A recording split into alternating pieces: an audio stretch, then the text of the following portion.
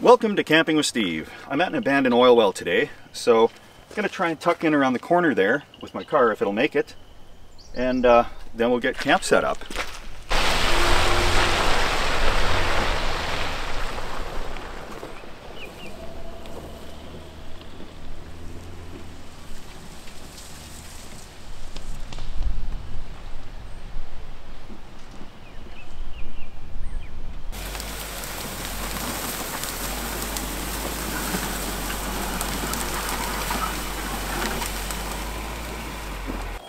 The car in kind of like that in case I gotta take off quickly. I'll set up the camp right behind it. Actually, I'll probably move it over a little bit. Uh, it looks like an easier path to drive out right here. And let's go check out that abandoned oil well. I'm sure the car is not completely hidden if anybody was to drive through. Not at all, but it's going to be dark soon. And the only tracks there actually are here from vehicles are from me yesterday driving through to check this thing out. So, a couple of pump jacks. Um, looks like an electrical panel there that's been pretty rated. And uh, there's been no activity here for a while. The power's been disconnected to the site. And uh, yeah. Ah, Texas T. Yeah, there are still a couple of pump jacks here. Uh, there's a whole bunch of stuff that I'm not sure what it is. So let's just go look. Well, I won't pull that handle. Um, pipeline is discontinued, just as I thought. Uh, over here, this one still hooked up to the pump jack. And it tells me, what is that? Oh, yeah. February 2016 was last time anything's kind of been checked out here. So that's been sitting here for a while. Oh, there's a pressure gauge.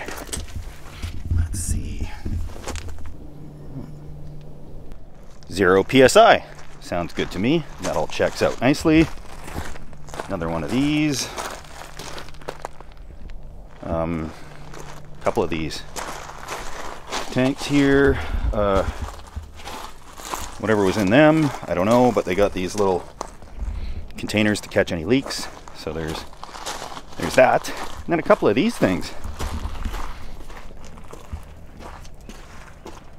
Uh,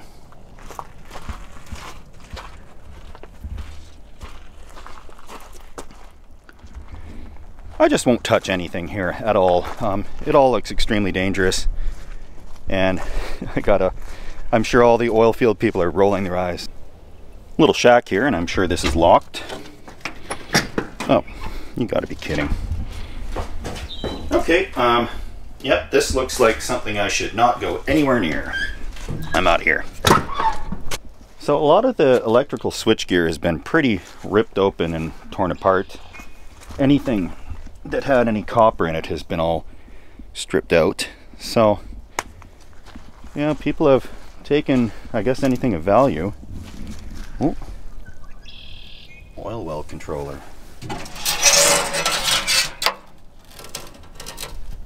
Hmm. That looks pretty empty as well. Well, they had three-phase power here, but that's disconnected right at the pole. And there is not much here other than this. And that's pretty much all we've got here.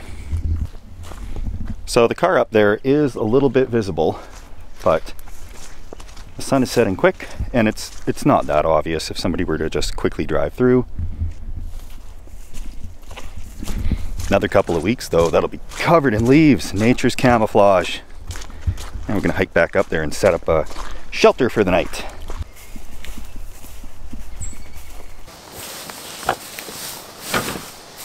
Got this um, tent cot thing with me today. The perfect easy thing to set up. And I thought if I could get a little further in that all of it would be invisible. It's not going to happen, but we don't have to worry about that because we're on county land. That means we're supposed to camp here. Just have to remember how it goes up.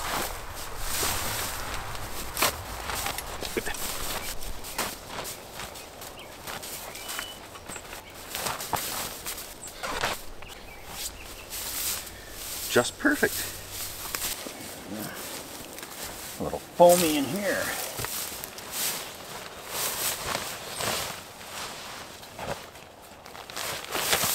It'll be pure, pure sleeping comfort.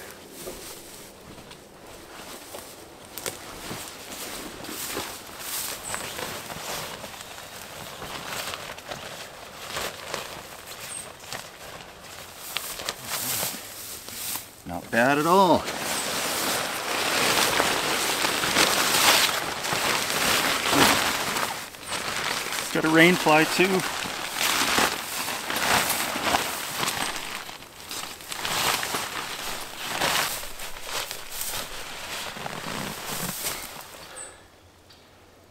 Just perfect.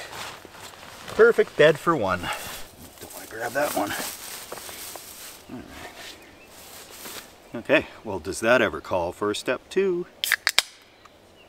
Yum.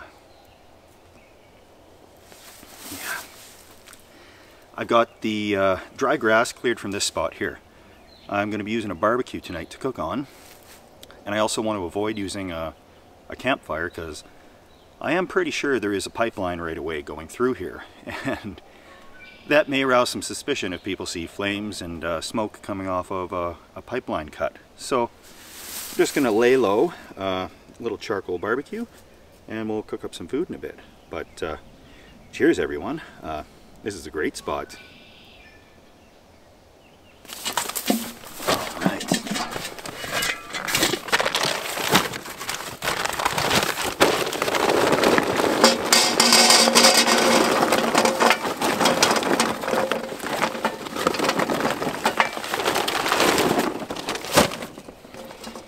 we'll get this warming up because this will take 45 minutes or an hour to be able to cook on it. Nice and self-contained. There's no more fire bans or anything like that. So this is uh, a responsible thing to be doing right now. Yeah.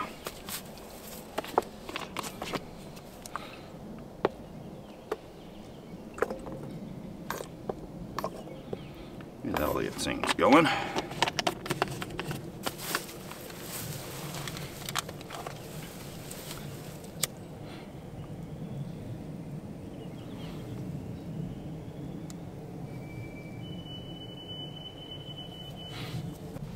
I'm not even lying. The instructions on this say when the fire is lit to add more. It's kind of lit. Oh.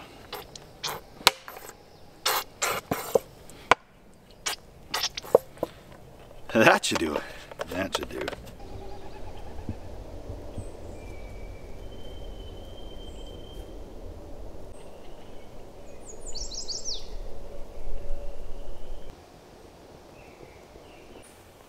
We should be good to cook here in a few minutes, but uh, I think I'll address why I'm camping in an abandoned uh, or orphaned oil well, aside from the fact that it's an awesome spot to camp and it's free uh, there's two things going on in Alberta right now, where I live, that are in the news all the time. A shortage of campsites and campgrounds, and it's so bad that people are scalping campsites, like they're reserving campsites and selling them at inflated prices. And things are nuts this year. Um, so we have a definite shortage of campsites and campgrounds. Then there's also a bunch of orphaned, abandoned, and inactive oil wells, like our little friend over there. So they're going to have to be reclaimed um, through the taxpayers usually. And what that means is ripping it all out and planting trees and turning it back into what it used to be. But I can see a bit of a common solution here. Um, there are roads going to these places. We've got a few acres there of leveled, graveled surface. There's three-phase power running right down the road and ending there.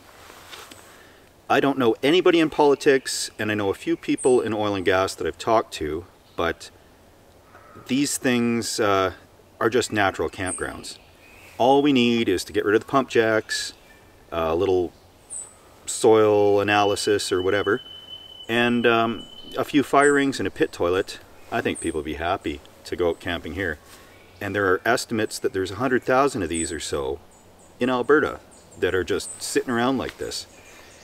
And that's a common solution to a lot of problems, and people aren't driving, you know, four or five hours to get to a campsite that's completely packed. Uh, people are reserving as soon as it comes open online for the year, and they're booked up within hours.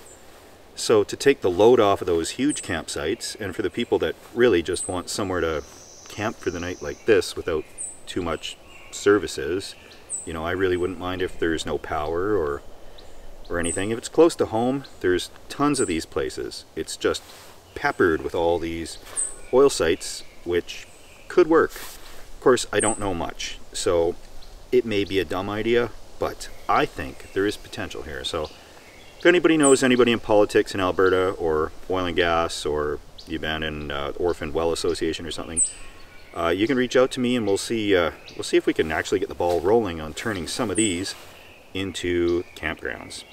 But that's got me uh, it's got me hungry all this thinking about camping and campgrounds. So I'm gonna cook some food. Time for a barbecued flatbread uh, pizza thing.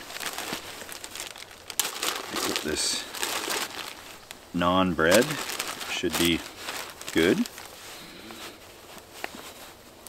Got a spray canister of, uh, if I can open it,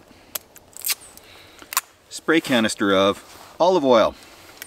A lot easier than brushing it on. And it's not full of chemicals. Um, ingredients, extra virgin olive oil. So that's good.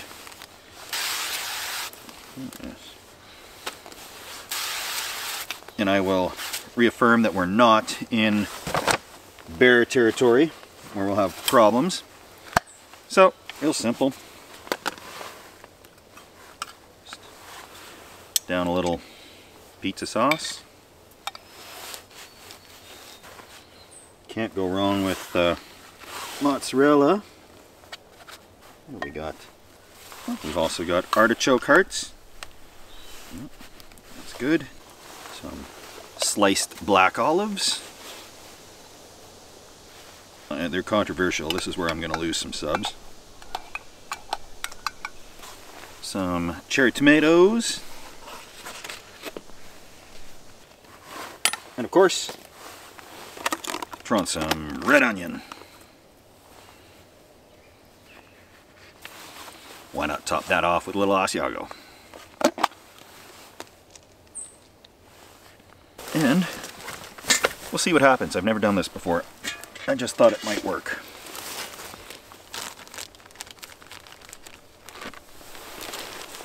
On you go, little guy. Godspeed. Mm. smelling pretty good. Let's see what we got.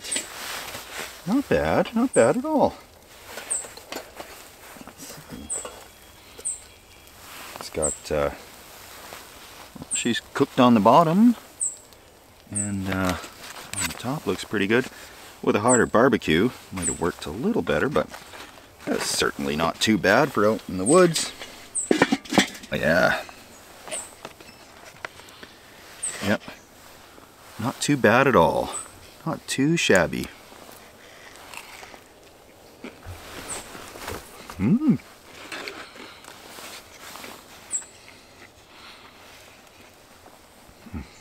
So glad I have more ingredients for more of these. It's actually quite, quite good. Gets the smoky flavor on it from the briquettes as well. Taste the heat, not the meat. Actually, there's no meat on this one. Should have brought some bacon or something, I guess. Okay. This is so good, I have to turn the camera off and just eat this. That was delicious. Um, We still got a bit of light out, so I want to wander down this pipeline clearing and see where it goes. Let's see.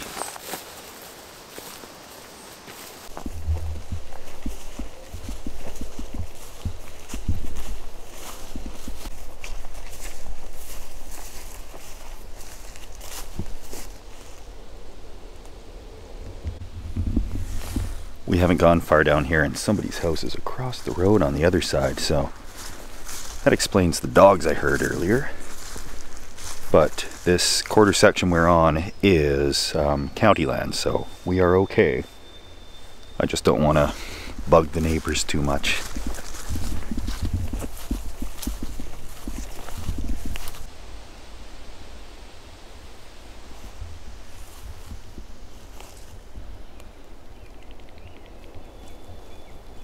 Think places like these have all the potential in the world to be a very good campground. There's the road here you can drive up and then it gets a little thinner then it goes around the corner following the edge of the quarter section there and then it turns into like a quad trail so uh, there's not much here other than just this little pipeline cut and the uh, old oil lease over there and the rest is beautiful aspen parkland it all kind of looks the same around here uh, we got songbirds we got bunnies uh, all that usual type of stuff and yeah, it's just the transition from when the Great Plains turned into boreal forests and uh, mountainous foothills, so we're right in that zone. And it's not too bad. I did a little digging. Um, I found a sign of the company involved with this operation. And I'm not going to name names, but uh, yeah, they owe a lot of back taxes to a bunch of counties and probably this one too. So it's just one of those things where like I live in this county, so my taxes are helping to cover this whole place, which in my opinion should be a campground. That's uh, that's where I stand on that, believe it or not. yes, I know what we're all thinking. Climb up to the pump jack and ride it like a horse. But it's extremely dangerous. Um, I don't like heights. I'm out here alone and there's bad cell service. So I don't want any problems. We're just going to have to admire it from the ground.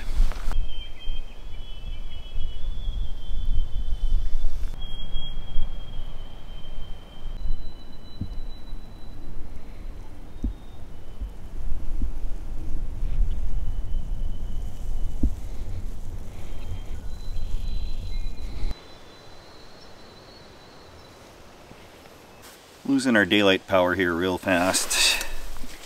Still got some coals. Might do up another midnight snack of a little flatbread pizza thing.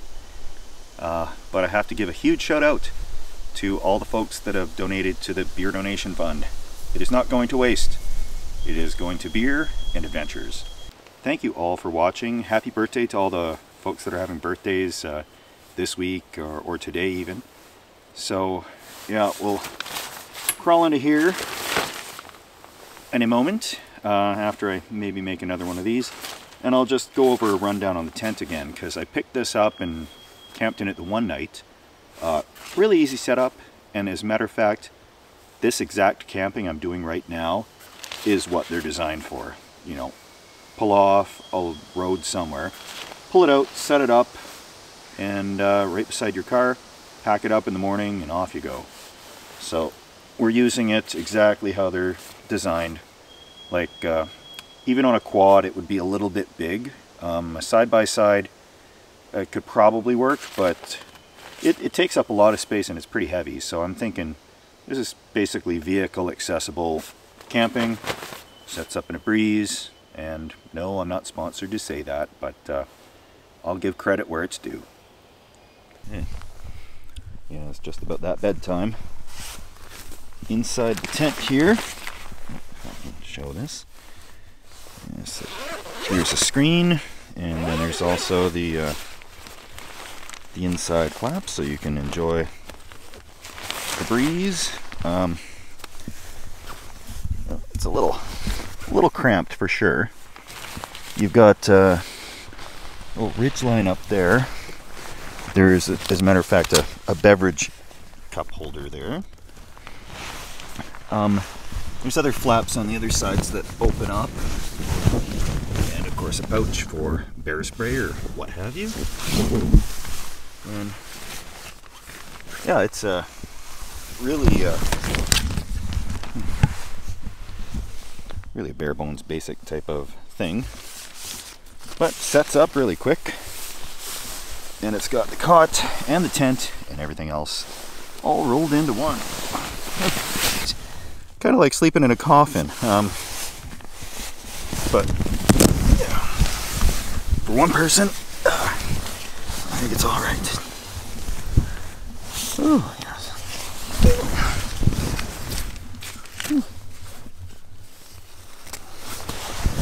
Okay. I'm sure you can't see anything. Real hard to film in here, actually. Oh. See you guys in the morning.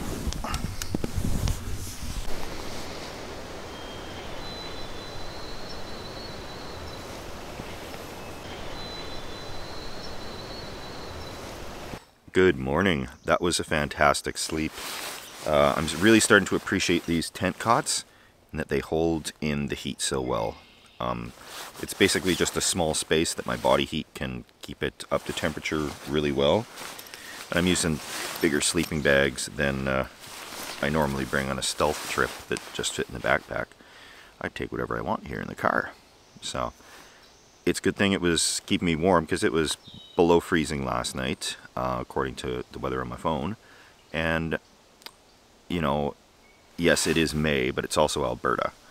And we're not really safe from freezing temperatures until ever. Um, any month of the year we can have freezing temperatures. So it's just a fact of camping here. But it also kills off a lot of the crawly things that we don't want here. Um, you know, there are ticks, but the place is not infested with them uh, snakes and that type of thing, they don't really survive here. So there's take the good with the bad, I guess.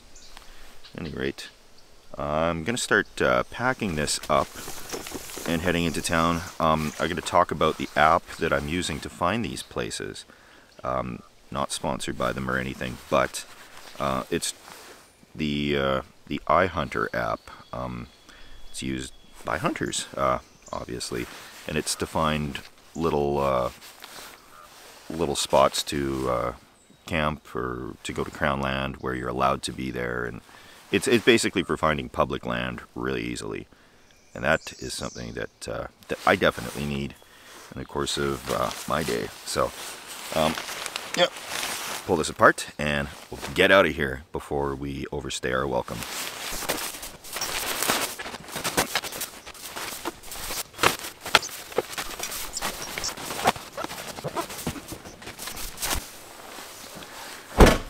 Can't beat that. Never gets old how quickly those things uh, set up and tear down. Because I set up a tent at least 52 times a year. Um, and it gets a little old putting the tent poles together and all that. So, uh, yeah, as I was saying about that app, um, it's called iHunter.